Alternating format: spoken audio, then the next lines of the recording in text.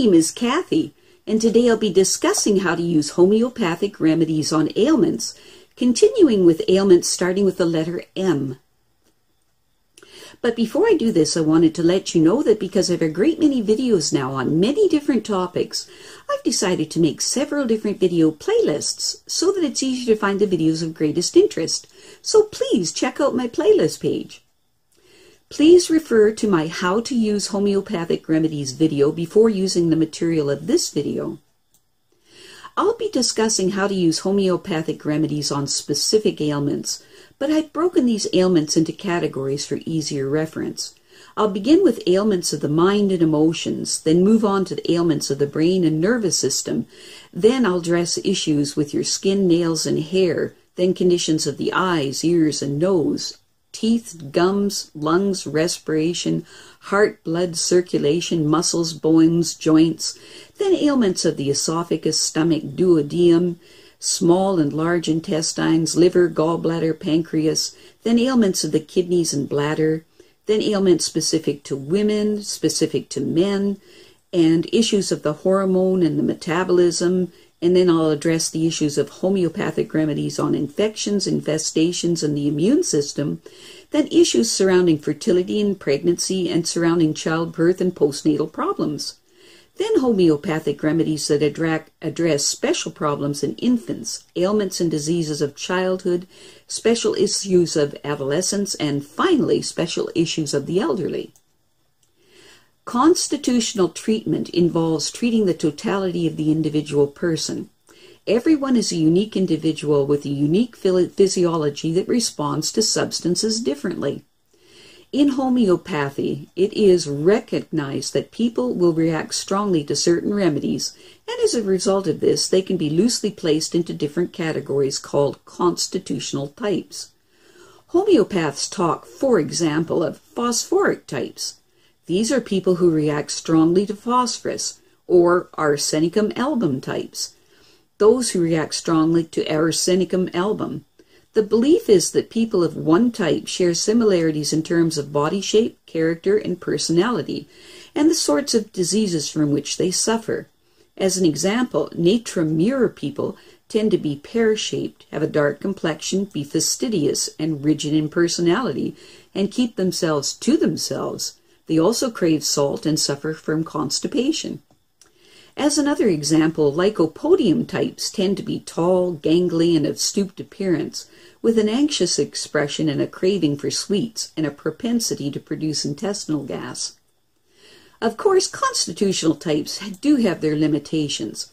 In reality, each person is an individual, and so there are many constitutional types as there are human beings. An account must be taken of the sum total of the person's inherent predispositions, past illnesses, diet, general reactions to the environment, intellectual and emotional features, and general attitude towards life. This is what is meant by constitutional treatment. I'll be making detailed videos on the various constitutional types after I've completed the use of homeopathic remedies on the ailments. The ideas, procedures, and suggestions in this video and all my homeopathic videos are not intended as a substitute for the medical advice of a trained health professional. Consult your physician before adopting the suggestions in this video. If you're pregnant, do not attempt these techniques without the approval of your physician. So let's continue with learning how homeopathic treatments can help with mental and emotional ailments. Today, we will continue with mental and emotional ailments that begin with the letter M. Manic depression. Manic depressive disorder is characterized by inexplicable and extreme mood swings, from joy and elation to gloom and apathy, interspersed with periods of normal functioning. Changes of mood are often of normal human functioning, but they last only a short while and have fairly obvious causes. For someone who is a manic depressive, the highs are very high and the lows are very low and can last for weeks, and neither seem to be linked with obvious external causes. When the manic depressive is in the deep depression part of the cycle, suicide is unlikely, but the risk of suicide increases as the mood begins to swing up again. In the manic phase, the person is frenetically active full of plans and projects, few of which are accomplished. The behavior may also be reckless or socially unacceptable. Most people, when they are ill, suffer not only from the basic diagnostic symptoms of the disease, but also from other symptoms that are specific to each person. In Orthodox medicine, these individual symptoms are mostly unimportant. But in homeopathy, they are vital to give the correct prescription. This is why different patients may receive different remedies for the same disease. Constitutional treatment involves treating the totality of the individual person. Some important additional things that can be done to strengthen the body so that it can focus on healing itself are proper nutrition first and foremost, and a comprehensive vitamin and mineral supplementation program, which I've outlined in my videos on these topics in my Maintenance of Good Health playlist. Homeopathy offers constitutional treatment for manic depressives and also a number of remedies for use during manic episodes. For remedies during the depressive periods, use the homeopathic remedies for depression. If the person is suicidal, call 911. If they're hallucinating or uncontrollably violent during, during a manic episode, call a regular doctor within two hours. These homeopathic remedies are to be given every four hours for up to 10 doses, or every one half hour for up to six doses if the mania is extreme. 1. For the manic person that is convinced that they're going to die and are not thirsty and are very jealous, use Apis 30C. 2. For the manic person who is hallucinating, quarrelsome, making obscene remarks, and is afraid of being poisoned, use Hyoscyamus 6C. 3. For the manic person that looks as if they have a high fever with a red face and eyes wild and staring, use Belladonna 30C. 4. For the manic person whose sense of time is awry, where everything is very slowed down with uncontrollable laughter and elated, exalted ideas, Use cannabis ind 6C. 5. For the manic person who has flashes of temper and the moods go up and down like a yo-yo and who find reassurances to have a calming effect, use phosphorus 6C. Memory loss. Brief loss of memory is not uncommon after drinking alcohol or after a high fever, an operation, an epileptic fit, or a diabetic coma.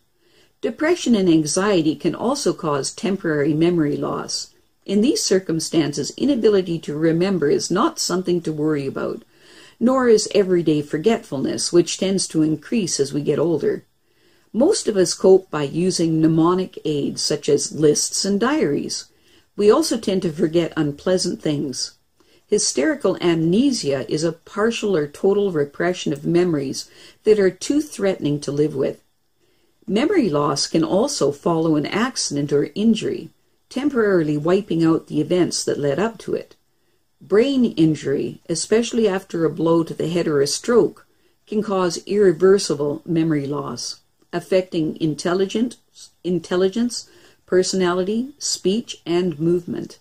Senile dementia involves the pro- progression, progressive loss of short-term memory until eventually the person is quite unable to remember what they did or said or heard or saw a moment before.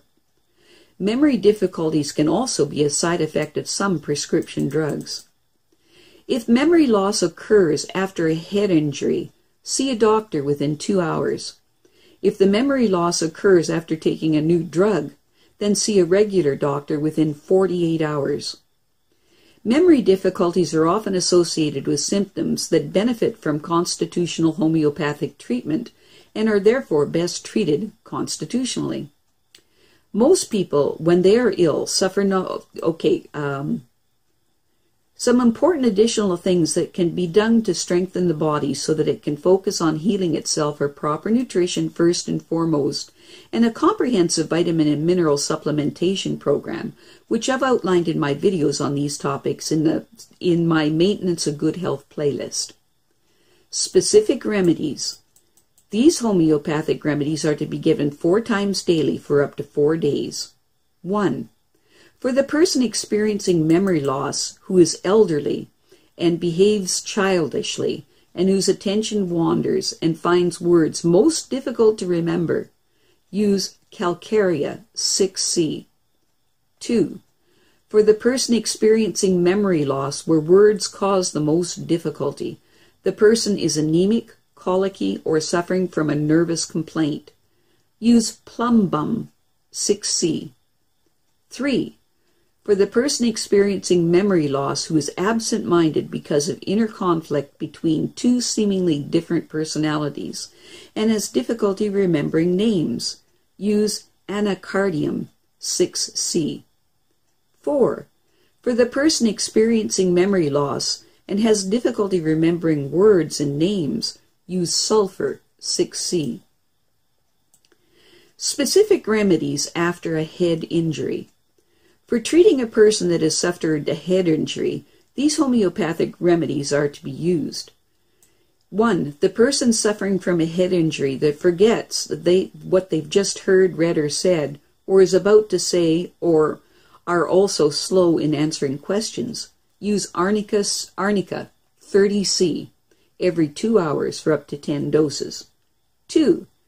The person suffering from a head injury who is still experiencing memory difficulties after taking arnica, then use Helleborus 6C every 8 hours for up to 14 days. Mental exhaustion. Mental exhaustion is also referred to as a nervous exhaustion or a nervous breakdown. It signifies a sudden inability to cope.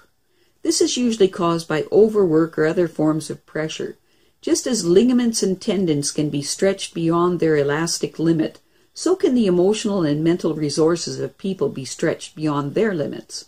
Some people have more resilience and stamina, more ability to absorb stress for longer periods than others. If it takes very little to topple you into anxiety or depression, constitutional homeopathic treatment could help. Most people, when they are ill, suffer not only from the basic diagnostic symptoms of the disease, but also from other symptoms that are specific to each person. In orthodox medicine, these individual symptoms are mostly unimportant, but in homeopathy, they are vital for giving the correct prescription. This is why different patients may receive different remedies for the same diseases. Specific remedies. These homeopathic remedies are to be taken every two hours for up to 10 doses. 1. The person feels emotionally drained by grief, is very apathetic and physically exhausted. Use phosphoric acid 6C. 2. The person feels a lack of willpower or determination. Use picric acid 6C. 3. The person feels mentally exhausted after working for exams. Use anacardium 6C. 4. The person has a headache and is exhausted from overwork. Use silicea 6C. 5. The person has great sensitivity to noise, is forgetful, and has a tendency to repeat everything. Use zinc 6C. I have a great many videos now on many different topics, and so I decided to make several different video playlists so that it's easy to find the videos of greatest interest. So please check out my playlist page. Well, that's it for now. To stay up to date with my latest videos, make sure to subscribe to this free YouTube channel by clicking the red subscribe button right below this video. Take care.